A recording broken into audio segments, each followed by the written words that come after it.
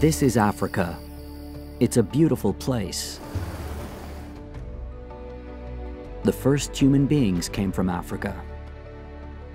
But today, we're here to think about the future, not the past. Today, something important is happening in a small town in Ghana. It is plugging into the internet. There are still a lot of countries in Africa that do not have internet connection, but this is changing slowly. The internet makes a big difference to people's lives and nearly everything they do. Today, that difference is starting here.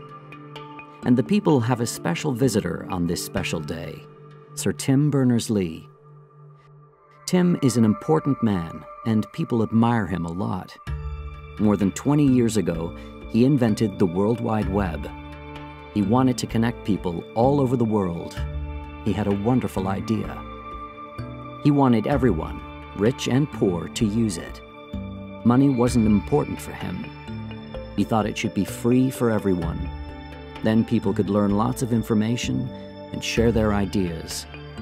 Now these people in Ghana can do that. Tim is showing these African people how to use electronic equipment to search the web.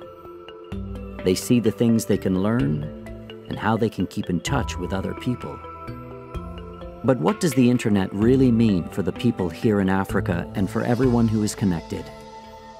Is the internet good for us or bad?